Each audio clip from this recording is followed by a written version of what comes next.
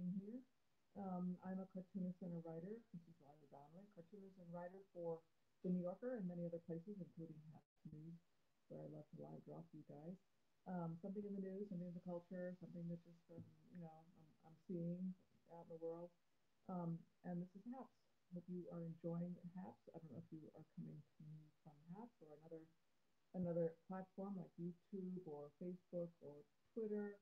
Um, but um, welcome. Haps is a new live streaming um, platform where you can uh, you can download it on your phone and then join us and follow me, follow people you you're interested in, and uh, you'll get notifications of when, when I go live. And also you can support the artists and the broadcasters that you like by giving us a little little rewards uh, on, on each broadcast or uh, supporting us as a patron, um, a monthly a monthly uh, patronage. So it's a great new um, app, and it's uh, all over the world. It's, it's global, and it's all kinds of people. There's chefs, and there's um, travel journalists, and there's journalists, regular journalists, and there's musicians, and there's comedians, and there's all kinds of stuff. So join us, and it's easy to do. Hi, Sports for the Blind. My voice is very low. Somebody else said that too, and I need to figure out why. Um, I think my phone is having issues, but I'll try to speak up a little bit. And um, thank you. Hello, Sports for the Blind. Um, but in the meantime, I'm going to turn this around and I will, um, there's no audio. Geez. Hmm. Not sure why that is. Is that any better? Must, must be my phone. Hi, Blue. Is this better? Can you hear me better? I can't go and check my, my uh, audio without ducking out of the broadcast, and I don't think I'm going to do that. So I'm just going to turn around, start drawing, and maybe you can hear me. Um, at least no sound at all. No sound at all? Hmm. I don't know what to do. Um, well, you're going to have to just watch me draw, I think. So that's what I'll do. Figure out the audio later. So I was thinking about Joe and his trip abroad, Joe Biden, and I wanted to draw about that. um,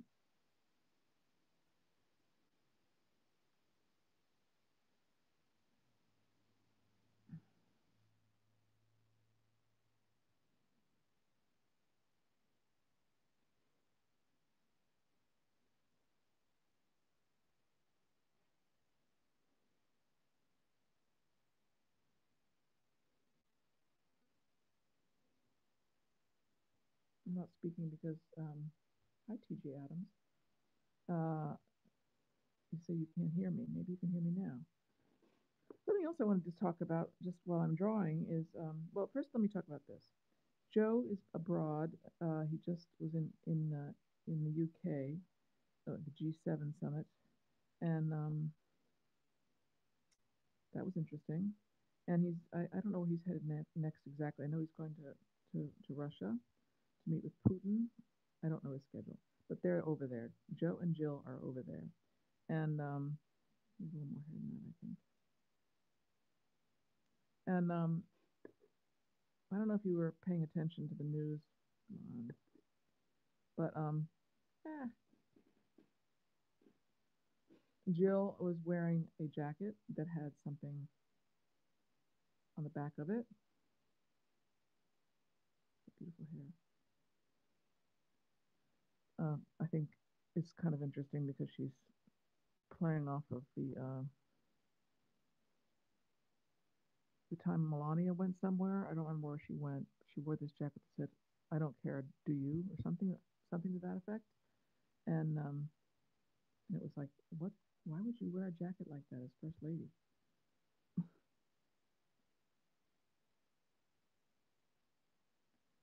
Jill is this sunny, sunny, very sunny person. It seems to me she's just always bright and sunny and upbeat.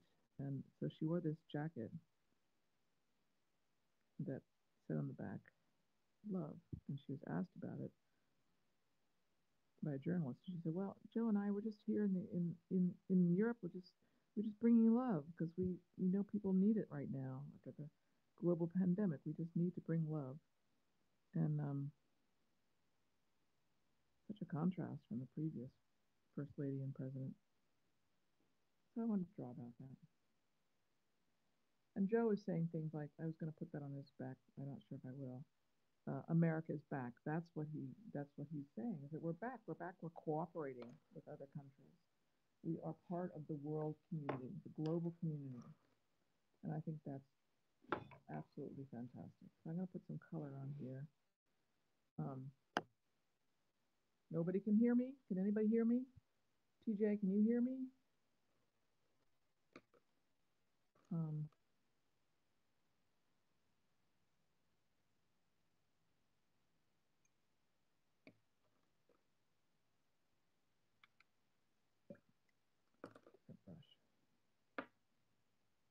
Although her hair is still very um. This is black too. See, I'm having trouble with my brushes. This is my brush. Um, I want to get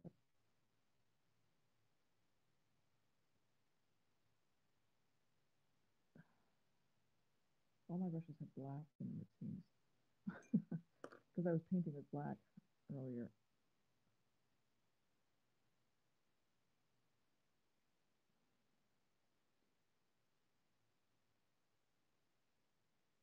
Doesn't really work.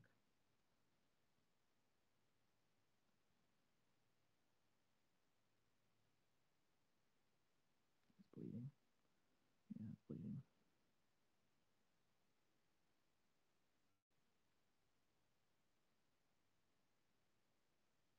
Ah! I'm going to give her dark stockings. Um,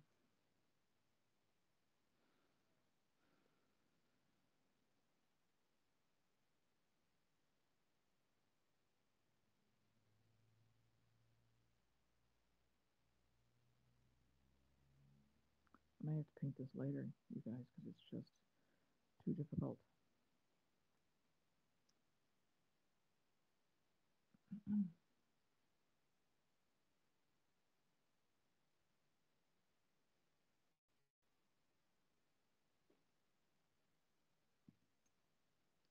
Good. You can hear me, TJ? Thank you. I have to check my phone audio. So, uh, what, oh, I, oh, what I was going to talk to you about is that the Pulitzer Prize Awards came out today, and they decided to not give an award to an editorial cartoonist. Every year they they do. Um, some years they've they've missed because I don't know what years those are, and, and I don't know what the reasonings what the reasons were. Um, but again, this year they uh, they've done it a few other years, but this year they did not give out an award to an editorial cartoonist, and it's really kind of astounding because I know editorial cartoonists did some fantastic work this year, um, last year, and it's just so, it's kind of surprising. So the editorial cartoonist community is up up in arms.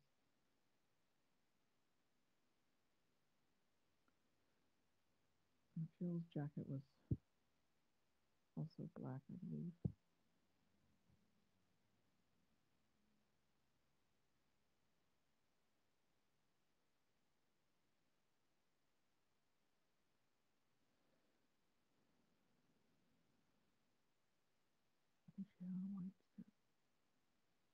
And I'll go back and fix things.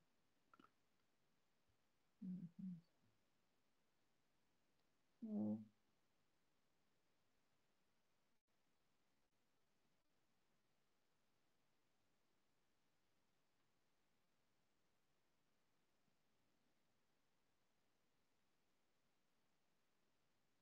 she wasn't carrying a flower, but that's fine. My choice to put that on there. And I'm gonna lighten her hair a little bit. Anyway, that's what I have for her today. I think it's just great what they're doing. I'm so happy we're back on the road, and helping each other, each each each country's helping other countries. So, all right. Well, I think that's it for today, guys. Just uh,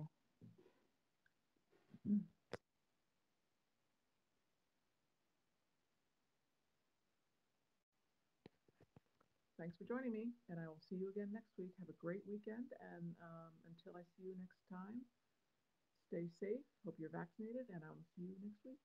Bye.